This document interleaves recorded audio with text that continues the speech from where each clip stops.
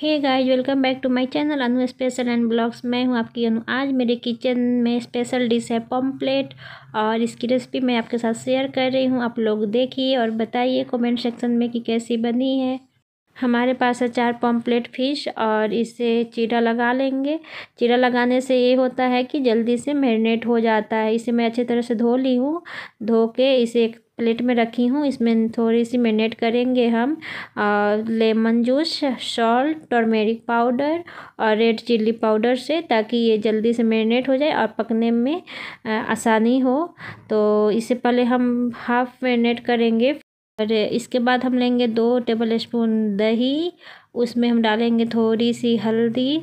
हल्दी पाउडर, स्वाद अनुसार डालेंगे सॉल्ट डालेंगे, तब याद रखिएगा कि सॉल्ट हम पीछे पम्पलेट फ़िश में भी डाल चुके हैं, इसलिए सॉल्ट को हम अच्छे से मेज़रमेंट करके डालेंगे। टेस्ट अनुसार अब इसमें रेड चिल्ली पाउडर हम डाल रहे हैं। फिर इसमें हम डालेंगे थोड़ी सी गरम मसाला का पाउडर इसमें और हम थोड़ी सी डालेंगे लेमन जूस लेमन जूस इसमें भी डालेंगे थोड़ी सी अब याद रखिएगा कि हम पहले भी लेमन जूस डाल चुके हैं तो इसमें बहुत हम थोड़ी डालेंगे और इसमें डालेंगे थोड़ी सी कुकिंग ऑयल और इसमें जिंजर गार्लिक पेस्ट। सारे इंग्रेडिएंट्स को हम अच्छे से, बहुत अच्छे तरीके से मिक्स कर लेंगे, ताकि ये बहुत ही अच्छे से हमारे पम्पलेट फ़िश में मैरिनेट हो जाए। देखिए, इसकी कलर कितनी सुंदर दिख रही है, एकदम सुनहरा कलर दिख रहा है। और इसे हम मैरिनेट करने के बाद इसमें फ़िश डाल के मैरिनेट करके अच्छे से सारे फ़िश को मैरिनेट कर लेंगे और उसमें जो चीरा लगा है ना, उसमें अच्छे से फिल भी करना है ताकि अंदर तक अच्छे से मैरिनेट हो जाए और इसे हम ट्वेंटी मिनट्स के लिए फ्रिज में रख दिए हैं। अब मैं फ्रिज से इसे बाहर निकालती हूँ और पैन मेरी गैस पे चढ़ गई है। तो अब इसे हम फिर से एक बार अच्छे से मिक्स कर लेंगे ताकि जो मसाले बची है उस, वो भी अच्छे से मैरिनेट हो जाए, अंदर फ़िश में चली जाए।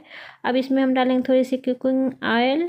बिल्कुल थोड़ी डालेंगे क्योंकि हम मतलब बहुत स्लो फ्राई करने वाले हैं। तो ज़्यादा डालने की ज़रूरत नहीं है। थोड़ी थोड़ी करके हम ऑयल डालेंगे। अच्छे से इसके चीरे में हम मसाले को फिल करेंगे ताकि मसाले अंदर तक जाए टेस्ट अंदर अंदर तक जाए। फिर तभी तो इसकी पम्पलेट की अच्छे से खाने में टेस्टी लगेगी। मैं तो आ, हमेशा नहीं बनाती हूँ कभी कभार ही बनाती हूँ। और देखिए बहुत अच्छे तरह से उसे फिल कीजिएगा और बिल्कुल स्लो उसे फ्राई करना है पैन से। और डालने के तुरंत बाद इसे हम पलट देंगे ताकि ऑयल पूरे फ़िश में अच्छे से चला जाए और धीरे धीरे इसे बिल्कुल लो फ्लेम पे इसे फ्राई करना है देखिए हमारी फ़िश कितनी सुंदर दिख रही है। देखने में तो बहुत सुंदर दिख रही है। खाने में अब कैसी दिखती है तो खाने के बाद ही पता चलेगा। तो ये और हम दो तरीके से फ़िश बनाने वाले टू फ़िश में विदाउट रावा का बनाई हूँ और टू फ़िश में रावे के साथ बनाऊँगी। तो ये मैंने एक बाउल में रवा ले लिया है और इसे मैं फ़िश को कोटिंग करूँगी। तो फ़िश को, पहले फ़िश जैसे फिल करेंगे अच्छी तरीके से। फिर उसे हम रावे के साथ कोट करेंगे एक बार। तो अच्छे से मैं देखिए कैसे मैं फिल कर रही हूँ। फिर उस पर से कोटिंग कर रही हूँ, रावा कोटिंग। तो मुझे तो दोनों तरह से पसंद है। तो मैं दोनों तरह से अलग अलग बनाई हूँ। दो दो फ़िश, चार फ़िश थे मेरे पास। तो दो मैं विदाउट रवा का बना ली और ये रवे के साथ बना रही हूँ। तो आप देखिए, और ऑयल में बिल्कुल थोड़ी ही डाली हूँ। अच्छे से कोटिंग करने के बाद ये गया पैन में। फिर मैं दूसरा भी अच्छे से फील कर रही हूँ, देखिए, देख पा रहे होंगे अच्छी तरह से। फिर इसे मैं रवा से कोट करके फिर उसे ये रहा, गया। देखिए पैन में ये देखिए, ये थोड़ा सा अलग दिख रहा है। इससे सुंदर तो पहली बार ही मुझे दिख रही थी विदाउट रवा, क्योंकि उसमें रवा का टेस्ट नहीं आता है, केवल फ़िश का आता है।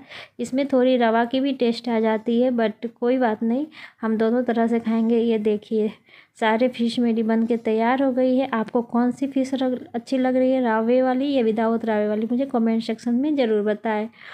फ़िश बनकर तो तैयार है और अब मैं इसे कर रही हूँ सर्व। सर्विंग प्लेट रेडी कर रही हूँ। इसमें मैंने क्या तैयार किया है? पोहे का भून कर पोहे का भुना और लेमन लेमन से इसकी खट्टी खट्टी और स्पाइसी टेस्ट आती है, बहुत ही अच्छी लगती है। तो यहाँ पे पोहे का भुना तैयार किया है तो पोहे का भुनने के साथ पम्पलेट अच्छी लगेगी। तो मैं चलिए अपना पम्पलेट इंजॉय करने। आप प्लीज़ मेरे वीडियो को लाइक कीजिए कमेंट कीजिए और सब्सक्राइब करना ना भूलें। Take care